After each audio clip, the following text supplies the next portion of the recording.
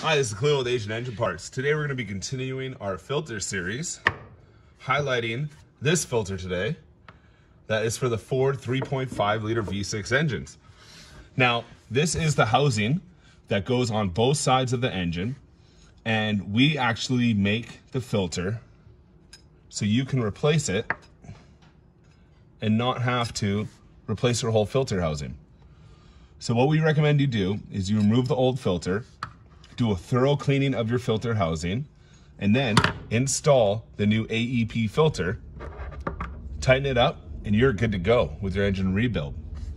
Now, this filter can actually be a sort of pain to get out because down in there, they get stuck pretty far deep and you'll end up having to drill a hole in the top and get in there with a hook and pull it out.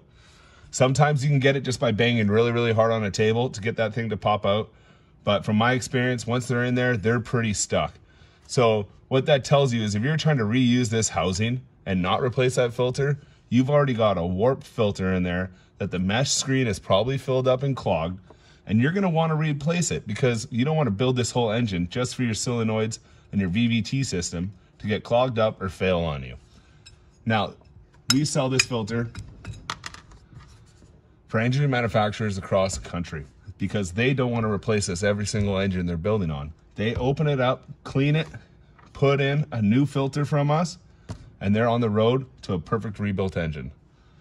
Now, to install this one, again, once you get it out, super easy. Just goes in there, pushes down, it's installed, put your plug in, and you're done. Tighten it up, and now you're on your way to a perfect engine rebuild. Thank you.